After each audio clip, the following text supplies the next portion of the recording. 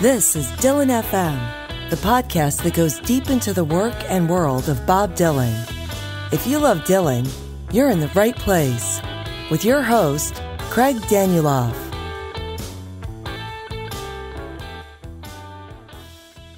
What I like best about reading Song and Dance Man Volume 1 and talking to Michael Gray about it on a chapter by chapter basis on this podcast was the context it provided about Bob Dylan as a songwriter. Everyone knows that Dylan had a relationship with folk, rock, literature, and the blues. But over the course of that book, we learned how deep and intricate and impactful that relationship was. While never focusing on the man as a biographer would, Michael Gray provided us with a biography of Dylan's mind, how he voraciously ingested folk music, and how it shaped his songwriting how he went through his formative teenage years exactly the right time to be washed over by Little Richard and Fats Domino and Elvis Presley, and how the best of their innovations were fused into his DNA. How he sat in B.J. Rolfzen's literature class at Hibbing High and obviously paid close attention and learned modes of thinking and expressions that he would call on just a few years later and how the blues records that some of his Hibbing and St. Paul friends had initiated a seemingly encyclopedic awareness of the musical and lyrical inspirations that is fueling him still to this day. Volume 1 of Song and Dance Man destroyed the idea of Bob Dylan as a prodigy who graduated from Hibbing High in 1959 with all of the tools he needed to fulfill the sense of destiny that he spoke of in the 60 Minutes interview. Instead, it showed us exactly how Dylan did something that he would advise others to do in the interview shown in the Rolling Thunder movie. He created himself. He studied and borrowed from scores of the best artists and thinkers that had come before him, applying his genuine gifts and talents to help him create things that were truly new, but which had precedence nevertheless. This doesn't diminish what Dylan did, but it does help explain it. It's fun to think that Dylan just spits out lines like those that made him famous, but it's far more interesting, in many ways impressive, to know at least a little about why he spit them out. Song and Dance Man Volume 1 gives us the background to do that.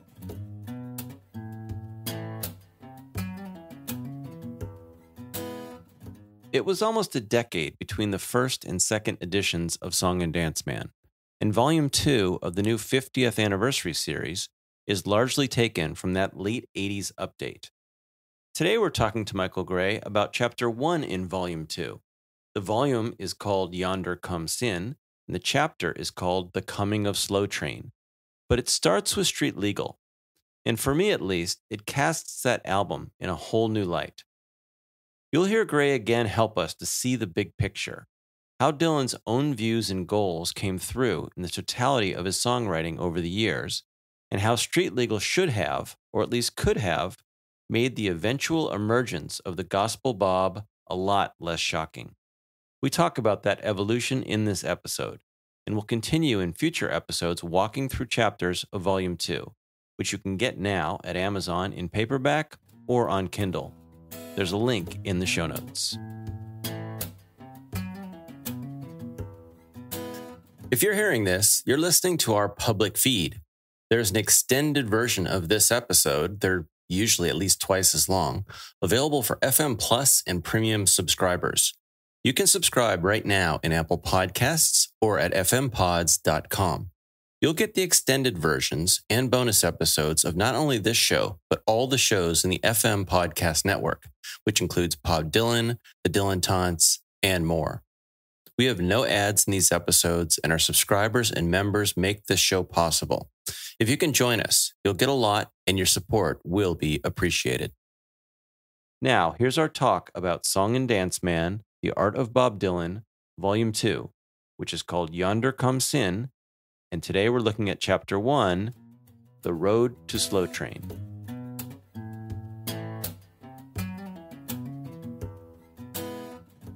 All right, Michael. Hello. Welcome back. Hi, Craig. We make it to volume two. Indeed. We've established his vast and deep influences, what he did with them, and how. You know, the tone of the book shifts a little bit because you start looking at specific work. It was littered throughout the first part, but you never stopped and said, okay, this is Blonde on Blonde. Let's talk about it. But for the next two volumes, we're kind of specific on albums and songs. Um, yeah, well, that's that's because the uh, the work this time was uh, catching up on the 80s, and Volume Three catching up on the 90s, whereas Volume One, that's uh, that's most of it, not the pre-war blues chapter, but most of it is from when it was all happening at the time. And so, you know, the themes worked well. Whereas here, I think the albums you have to more or less take the albums one by one. And I think that's what we do. Starting here with uh, Street Legal, because what I'm saying in the book is that Street Legal is it's a terrific album in itself, but it's also very much laying the groundwork for saying, look, I'm uh, I'm heading for Jesus here, particularly in some of the songs. And and then of course what we get after that is Jesus. We get Slow Train Coming and Saved, and some outtakes, one of which is Yonder Comes Sin, which is the title of this volume.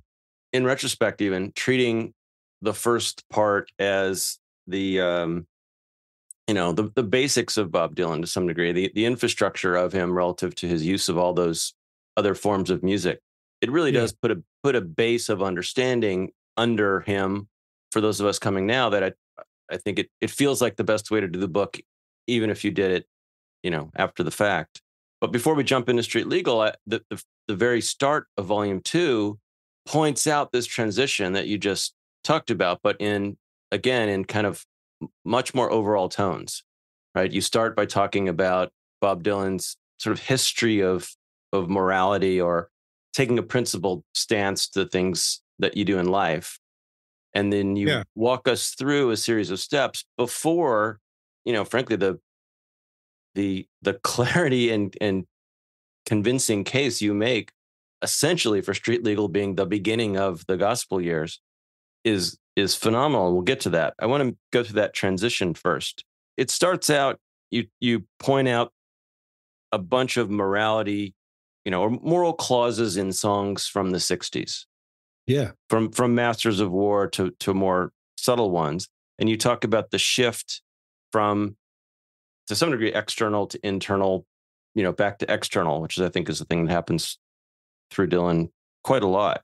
How much of that transition in his viewpoint were you able to see in retrospect, or was it evident at the time? Uh, at the time when I first encountered him, it was 1964. So so he was um, the newest album was another side of the fourth album, which some people were uh, complaining about because it wasn't so strictly a protest album as the previous two had been.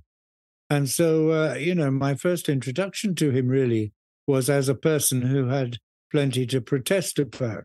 That is to say, uh, someone who cared about uh, the state of the world and uh, and that's the that's the basis of it. You know, I mean, a lot of uh, a lot of popular uh, singer songwriters just just write about their love life or uh, their theoretical love life, or you know, how much they like drinking beer or whatever it might be. But uh, Dylan has never been in that sort of uh, camp. And even, you know, when I came to hear the earlier work, it was just riddled with struggles with morality of one kind or another. I mean, he was a serious young man, you know, and uh, and of course he he sort of relishes all that, even in the stuff he hadn't written himself. Earlier things that he recorded, like uh, "What You're Going to Do When the Devil Comes Creeping in Your Room," you know, that's not um, that's not Elton John, is it? you make the point, and this happens over just a few pages as you set the stage in this in this volume, that he essentially starts maybe suggesting outwards to people that it's not so much um, an externally applied moral code, but that you need to look at yourself and you need to take responsibility. Here, here's yes. our first uh, our first selection from from this volume. It was not, however, a sudden change from the hip amoralist to the priest. Dylan had seized on a new code, but remained utterly consistent in his preoccupation with struggling for a code. Along with this unfailing sense of the need for moral clarity, Dylan's work also Dylan's work has also been consistently characterized by a yearning for salvation. In fact, the quest for salvation might be called the central theme of Bob Dylan's entire output.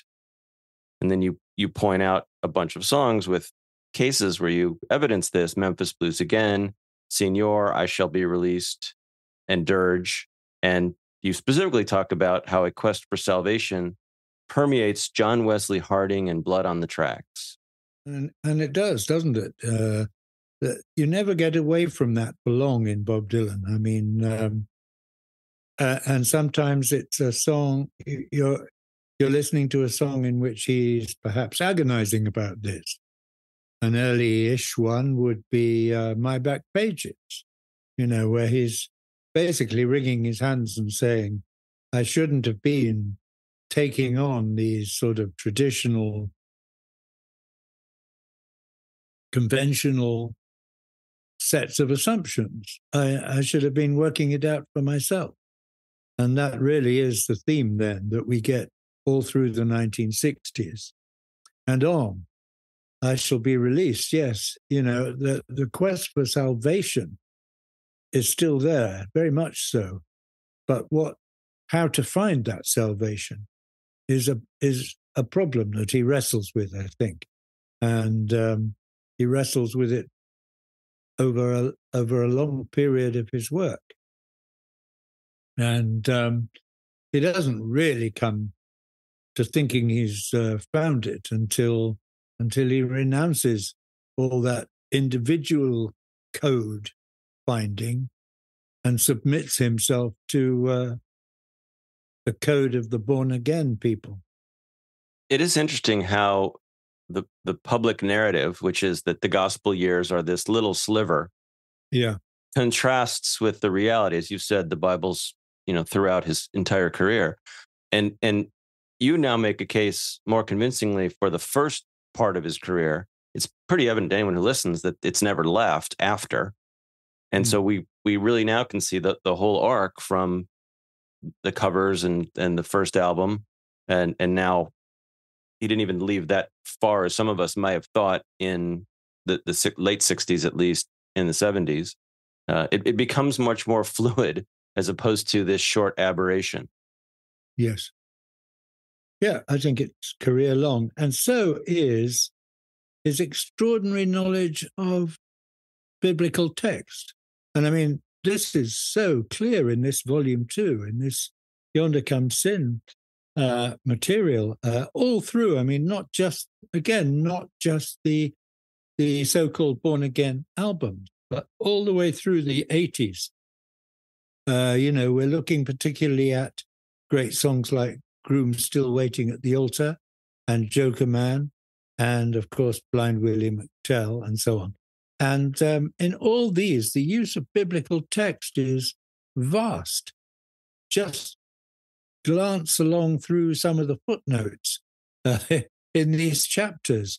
And uh, I mean, very seldom does he just quote straightforwardly a verse of biblical text, but very, very often he twists one or, or builds uh, a poetic line because he knows one. And um, you know, this is this is not just Matthew, Mark, Luke, and John. You know, this is or, or, or Genesis.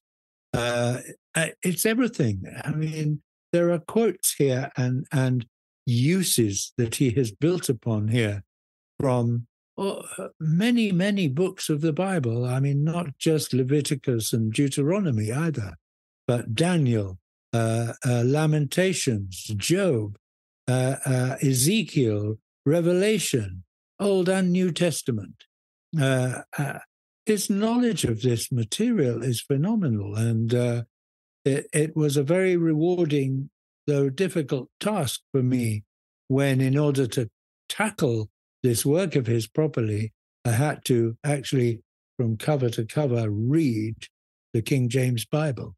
And it is almost always the King James Bible that he uses. It's it's it's the poetic version in the English language.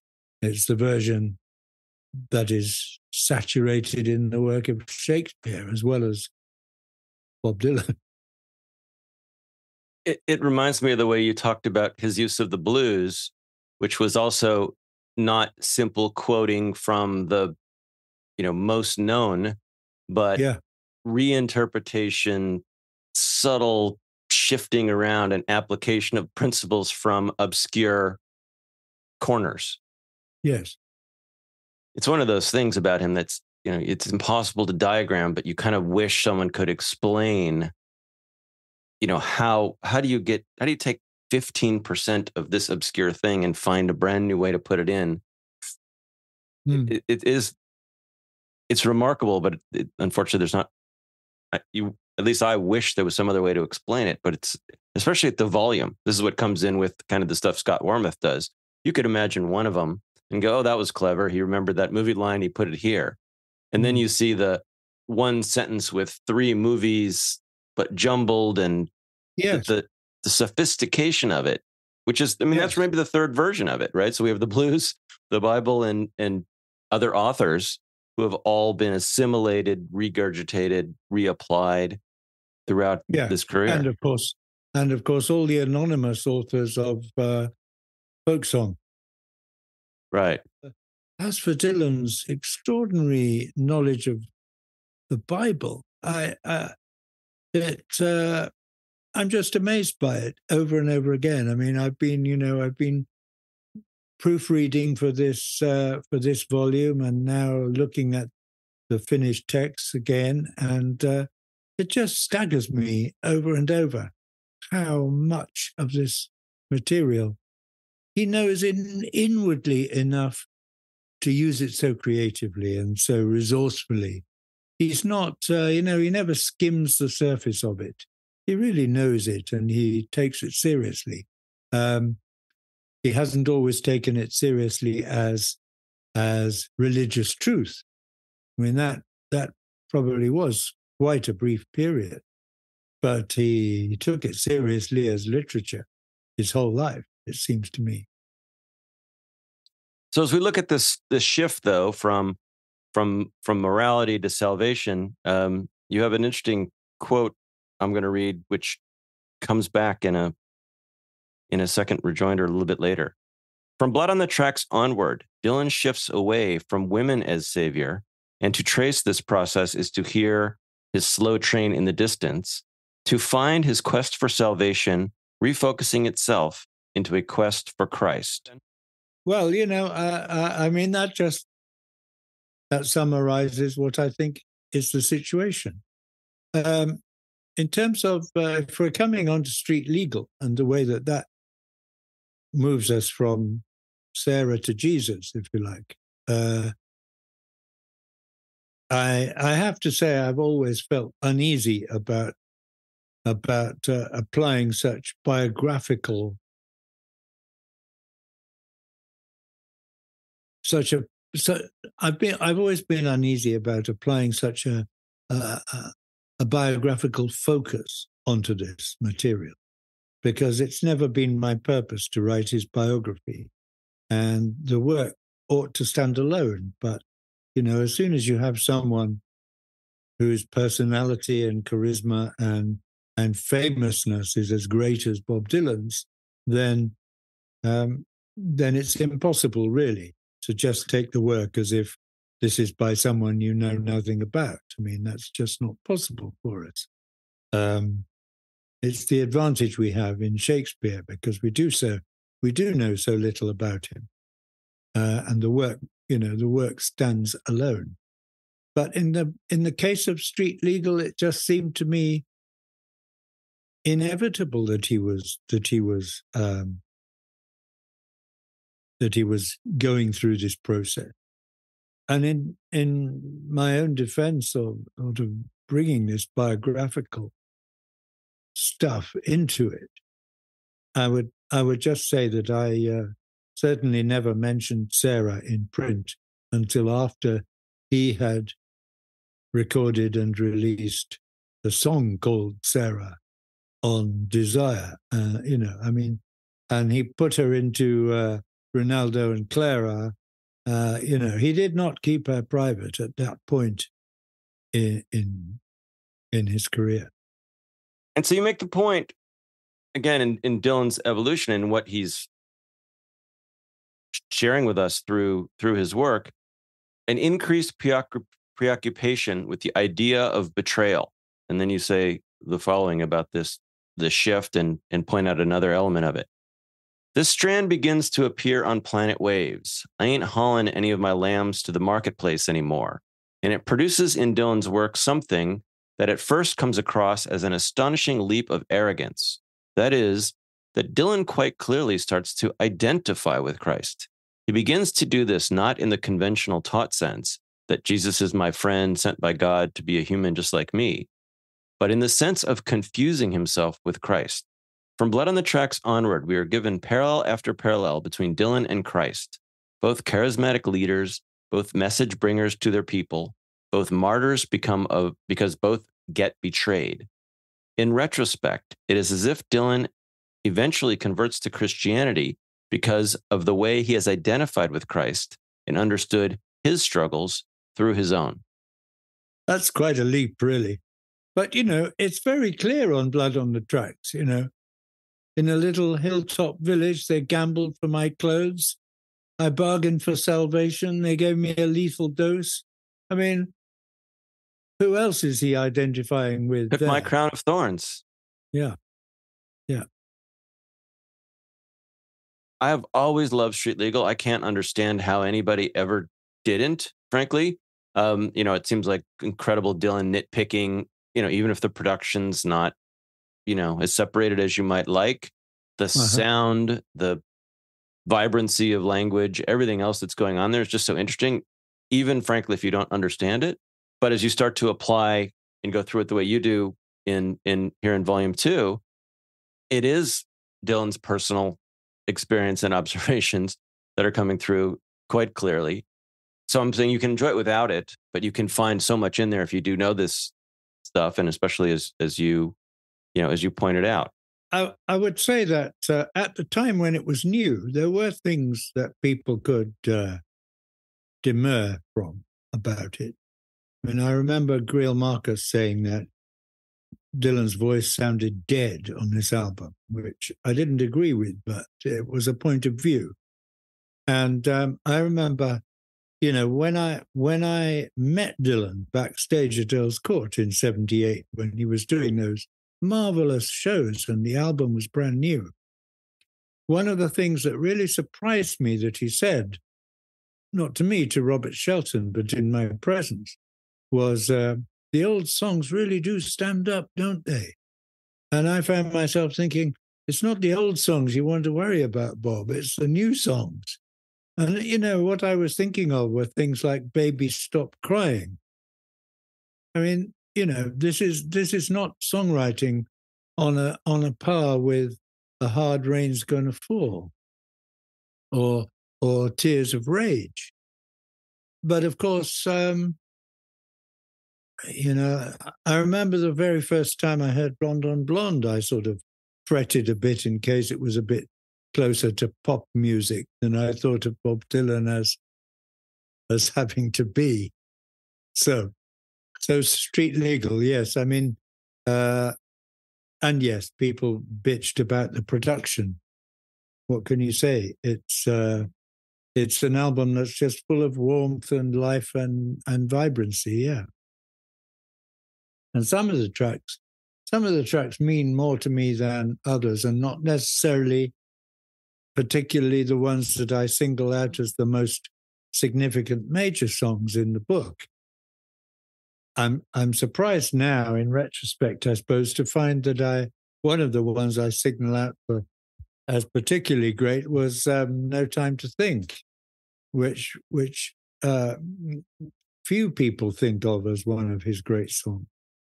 But among the ones I really like a lot are uh, We Better Talk This Over and True Love Tends to Forget. You know, they're both marvelous nuggets of material. And, and not on the original list you wrote in the book. Let me, this is a, a bit of a longer passage, but it's, I think it's just a phenomenal setup for Street Legal, especially maybe a recast of the way you know most people think about it. The truly central album is Street Legal, on which every song deal with, deals with love's betrayal, deals with Dylan's being betrayed like Christ, and deals head on with Dylan's need to abandon women's love.